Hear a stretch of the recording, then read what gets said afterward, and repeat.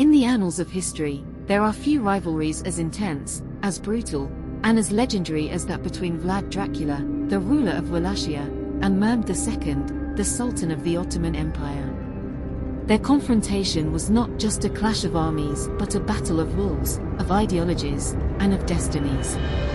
This is the story of two titans, whose legacies were carved in blood and stone, in a time when empires rose and fell by the sword. Background To understand the fierce rivalry between Vlad Dracula and Mehmed the Conqueror, we must first step back into the world of the 15th century.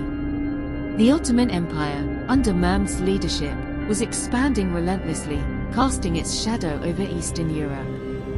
Mehmed II, known as the Conqueror, was a man of extraordinary ambition. His most famous triumph came in 1453 when he captured Constantinople, a feat that earned him eternal glory and signaled the dawn of a new era. On the other side of the frontier was Wallachia, a small but fiercely independent principality nestled between the Carpathian Mountains and the Danube River. Wallachia was ruled by Vlad III, a man who would become infamous as Vlad the Impaler, or Vlad Dracula. Born into a turbulent world, Vlad's childhood was marked by betrayal and captivity. As a young boy, he and his brother were held hostage by the Ottomans, where he learned the arts of war and diplomacy. But this captivity also planted the seeds of a deep and enduring hatred for his captors, a hatred that would later fuel his brutal campaigns against the Ottoman Empire. The rise of the rivalry. As Mehmed consolidated his power, he turned his gaze towards Wallachia, viewing it as both a threat and an opportunity.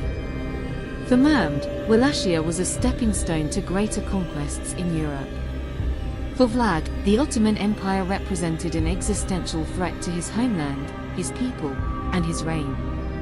The tension between these two leaders was inevitable, and it erupted into open conflict when Vlad refused to pay tribute to the Ottomans, a bold and dangerous defiance that set the stage for one of history's most brutal confrontations. In 1462, Mehmed led a vast army into Wallachia, determined to crush Vlad and bring his rebellious principality to heel. But Vlad was no ordinary opponent. He knew that he could not defeat the Ottoman army in open battle, so he resorted to guerrilla warfare, using the rugged terrain of Wallachia to his advantage. He launched night raids, ambushed Ottoman troops, and employed psychological warfare, all designed to demoralize and weaken Mehmed's forces. But it was the infamous Forest of the Impaled that would leave an indelible mark on history. As Mehmed's army approached the Wallachian capital of Targoviste, they were met with a horrifying sight, thousands of Ottoman prisoners impaled on stakes, their bodies lining the road for miles. This gruesome spectacle was Vlad's message to Mehmed, a stark warning of the price of invasion. The climax and aftermath. The Battle of Targoviste was the climax of their rivalry. Despite the ferocity of Vlad's resistance, the sheer size of Mehmed's army forced him to retreat.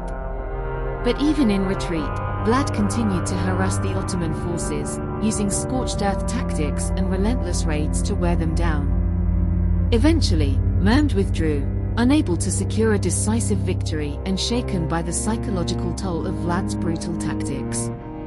The war between Vlad and Mehmed was not just a conflict of armies, it was a personal vendetta, a clash of two leaders driven by their own visions of power and survival. For Vlad, it was a desperate struggle to defend his homeland against an overwhelming force. For Mehmed, it was a test of his empire's might and his own resolve as a conqueror. Although Vlad was eventually overthrown and captured by his own countrymen, and Wallachia would fall under Ottoman influence, the legacy of his defiance lived on. His tactics, his brutality, and his unwavering determination made him a symbol of resistance against the Ottoman Empire. As for Mehmed, he would go on to further solidify his empire, but the campaign in Wallachia remained one of the most challenging of his reign, a reminder that even the mightiest of empires could be humbled by a determined foe. The continuing conflict, the struggle between Vlad Dracula and Mehmed II did not end with the initial battles. After his daring campaigns, Vlad's reign became increasingly unstable. In 1462, following the retreat of Mehmed's forces, Vlad was betrayed by his own allies and imprisoned by the Hungarian king, Matthias Corvinus. During his captivity, Wallachia fell into chaos, and Mehmed saw an opportunity to reassert Ottoman control. However, Vlad was not finished.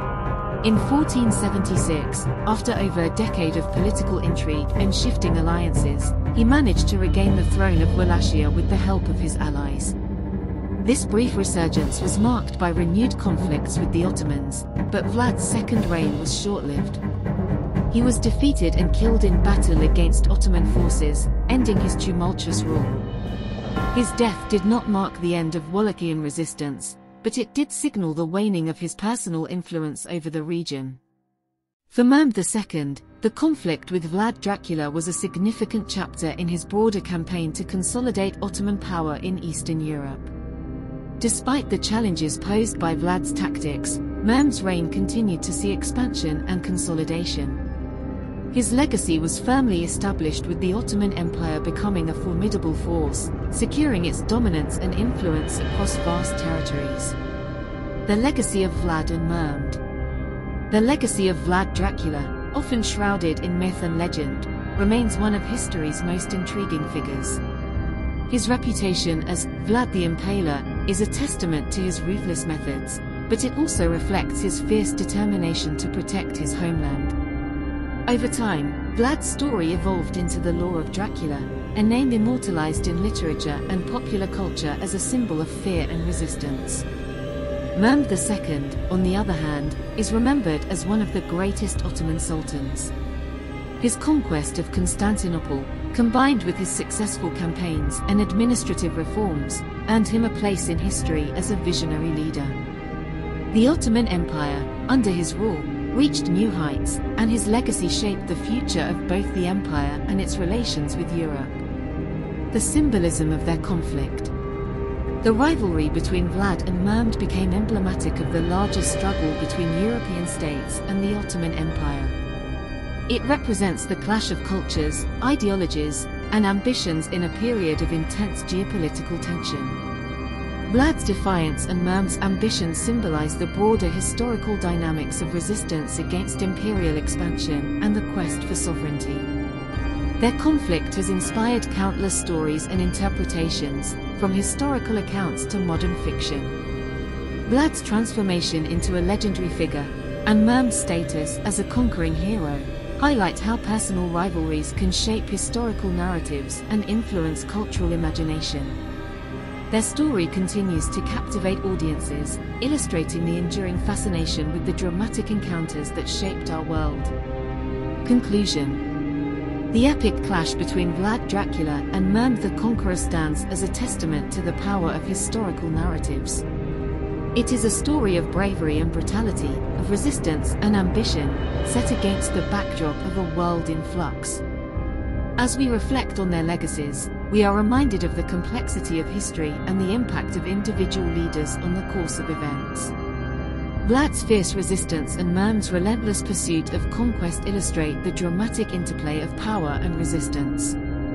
Their story remains a compelling chapter in the grand saga of history, reminding us that even in the face of overwhelming odds, the human spirit's quest for freedom and dominance can create legends that endure through the ages. Please don't forget to like the video and subscribe to the channel for more content. Until next time.